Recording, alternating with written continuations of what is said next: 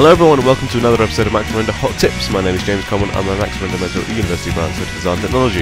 Today's Maxwell Render Hot Tip will be looking at the little settings inside the interactive preview.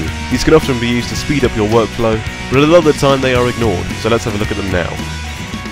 This is the scene that I'll be working with today, and now I'm just going to go over some of the useful tools inside the interactive preview. First of all, obviously, if I hold down Alt on the keyboard and left click and drag in the viewport, I'll orbit around my scene and the interactive preview will update accordingly. But what I can also do is alt and left click and drag in the interactive preview, and the interactive preview will update, but the camera won't move. So what I can actually do is have a quick look around my scene without moving my camera. This is useful sometimes for if you just want a quick look around, but you don't actually want to move your camera. If you find a view that you do actually really like, you can right click in the interactive preview and select set camera view.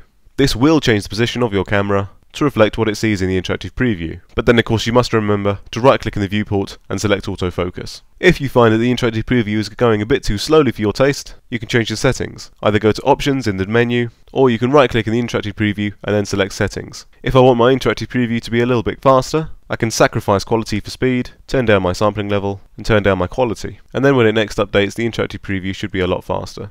But the actual quality that it will reach will be lower.